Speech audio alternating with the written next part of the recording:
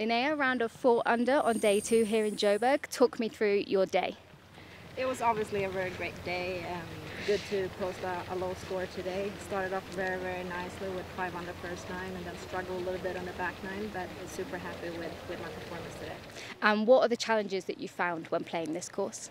I mean, the course is in very great conditions. Uh, the greens are a little soft, so you really need to control your distance control and the spin on the balls. I think that's a little challenge. And then it is narrow on certain holes, so off the tee, so you kind of have to make sure that you put the ball in play and make sure you stay out of the rough because the rough can, can be tough. And what do you think the strongest part of your game was today?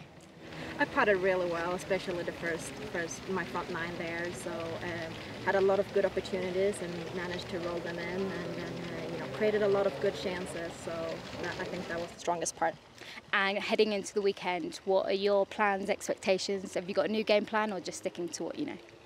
I'm gonna try to stick to my game plan. You know, two more rounds. Uh, only half of the tournament has passed, so uh, I'm gonna stick to what I'm doing, one shot at a time, one hole at a time, and you know, create as many chances and opportunities as I can, and hopefully, hopefully, have a great weekend.